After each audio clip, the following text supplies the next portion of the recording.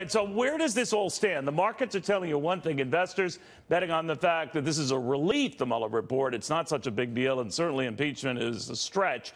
But then there are those who follow what these politicians are yapping about, and could it be sort of a, well, a, an oddity going forward? Let's go to Democratic strategist Scott Levenson, market watcher David Bahnsen, and a Fox News contributor, Kat Timpf. You know, Kat, you look at this here, the markets are betting that this is a relief, mm-hmm. that, that, that this is as far as the Mueller report went, and not buying the, the impeachment talk. What do you think? I'm not buying the impeachment talk either. I think it's mostly for political points because if you really look at what that would do, it could maybe not even get through the House and it would certainly not get through the Senate. And just like it did when Republicans did this to Bill Clinton, I think it would make President Trump more popular. It would make them look petty and it would make President Trump look more like a victim and a sympathetic figure. So I I, and I think that they know that. They must know that.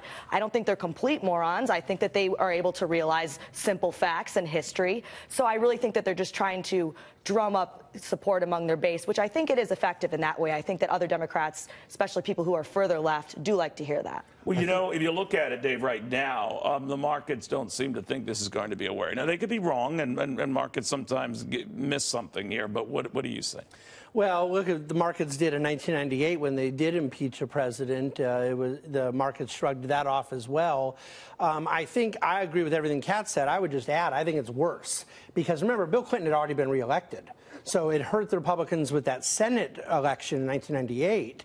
But the fact of the matter is that this uh, ridiculous idea of impeachment going into Trump's reelection, they could not possibly I do, do a bigger too, favor as well. I don't know how you feel, but I, I, think the economic environment, market environment, does count for something, and I think the markets. Sure Republican bastion though they are, they didn't like it when Bill Clinton was in trouble and the possibility that he might go. Uh, the environment is similarly strong today, right? Uh, the fact is, it's not strong. It's strong for investors. It's strong for corporations. It's strong for those that have real money for the elites. If you look at well, the, who, who, if you look if you look at the real buying, were they just well, the elites back oh, then? Oh, I mean, the fact is, right now, what you have is a real loss of buying power among the people who he's looking to gain votes from when you have a minimum wait, wait, wage that hasn't. Are you saying that the rally that Bill Clinton was experiencing was any different than the rally that this one is? I'm saying that real wages haven't increased in buying That's not what power I asked. in 40 is, years. Is the environment good enough to sustain this president?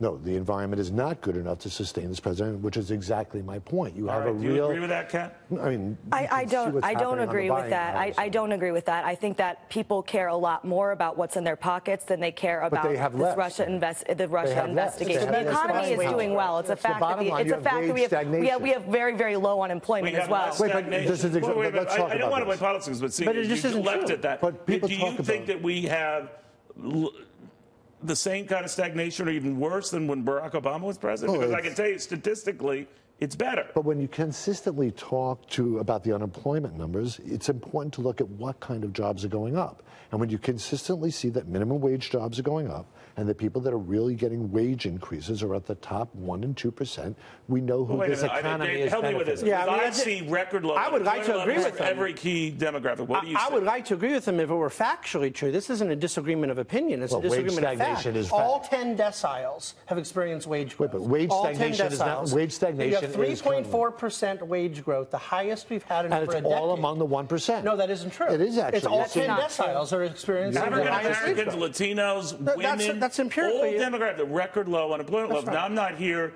to kiss anyone's hiney. I'm just telling you the fact of the matter is these are the metrics you know, Democrats are using with Barack Obama and saying that things have improved saying, since the meltdown. All I'm saying, you're, when, you're ignoring when, all of that. No, what I'm saying is when the minimum wage hasn't gone up in this country in over a, almost over a decade, we have record numbers of seeing, companies raising We're seeing that. buying power among the younger generation. Uh, Minimum wage is an entirely different discussion. You're seeing real, yeah. you're seeing real saying, fear and, among, to keep the politics out, I'm seeing you know, strong retail sales, strong consumer confidence numbers, strong industrial production. Whether you want to credit this president or not, it is what it is. These are the metrics we use to decide what party stays in power. For now, doesn't that look good for this president or not? Objectively, it's a fact that it does, and I think that it absolutely does matter. So I think that what Democrats should be doing is they should be focusing on how they say, "Oh, we can make it even better. This, these are our ideas," rather than saying, "Let's impeach the president," which is Well, impossible. also- well, it's also- well, it's well, also- too I mean. Elizabeth, Elizabeth Warren's proposal to, over the last couple of days on really dealing with student loan addresses what the interns in my office are fearful about every day. They fear they're not going to earn as much as their parents. That's a constant, and that filters down to confidence. But you're not concerned economy. how she's going to pay for it just by I taxing rich totally, people? Of course, I'm concerned about how she's paying for it, but I'm more concerned that we don't address it.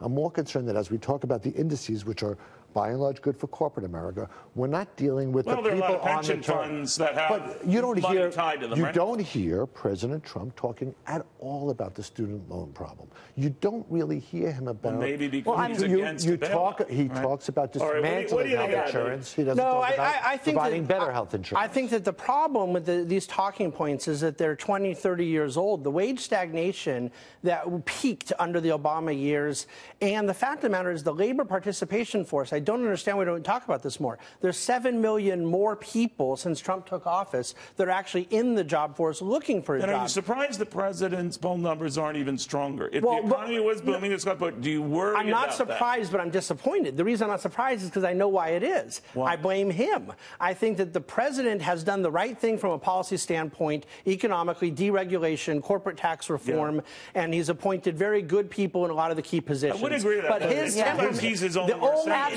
That's Absolutely. exactly right. He, he- uh, absolutely. Even throughout the Russia investigation itself, I don't think it would have been talked about as much as it was talked about if he didn't insist on talking about And it so a lot much. of free advertising. yes. yeah, There's no doubt. exactly. that? Would you rather His than talking about impeachment or this pathetic economy you allude to? I mean, obviously, the weaponry, the arsenal is there. The report is lying at the floor of Congress. You have to talk. You have a Do you really think that when you disagree with Nancy Pelosi, Steny Hoyer, and some of these other Democrats who are saying that might be a foolhardy mission? I actually think Nancy Pelosi is taking exactly the right tone and focusing not on the politics of the impeachment discussion, but on the constitutional obligation. no, no, that's true. impeachment She's going to hold hearings and, And I think that, that is but you exactly feel that the they right go too far and that the Republicans, who many But this said is, went too far, I think the pace Democrats are repeating. I actually think it's really important that this pace is being drawn out the way it is because it gives the leadership an opportunity to educate the electorate. I just can't believe we're seeing Democrats, really some committed. Democrats, fighting so hard for Pence. I had no idea they liked Pence so much. I don't know if they realize that doesn't mean that you get President Hillary Clinton if they actually So, did impeach David, Trump. Would it be a big worry to you if these hearings, whatever comes of them, develop into something? No, not in the slightest, because first of all, they're not going to impeach him. I agree with Kat. I don't know that they have the votes in the House, but I know they don't have him in the Senate. He's not going have- anywhere. If he did, it would be Vice President Pence, and But all is, they're again, doing it is, is the helping politics. his reelection All effort. the Republican framing of discussions around impeachment around the politics. Nobody's talking about the constitutional obligation that the Congress has. Oh, I'll talk about that to all day. hear Yeah. Well, I'll talk about the constitutional obligation all talked about a constitutional obligation. I think you would say that they o- overdid it, right? Well, I say And that now a lot of Republicans are telling Democrats, you risk overdoing it. Well, the Mueller report put it at the hands of Congress. They have an obligation to take it. The So you think by, by focusing on that, they'll do just fine? I think if they take the time and educate the electorate, they'll do just fine. We shall see. Guys, I want to thank you all very, very much.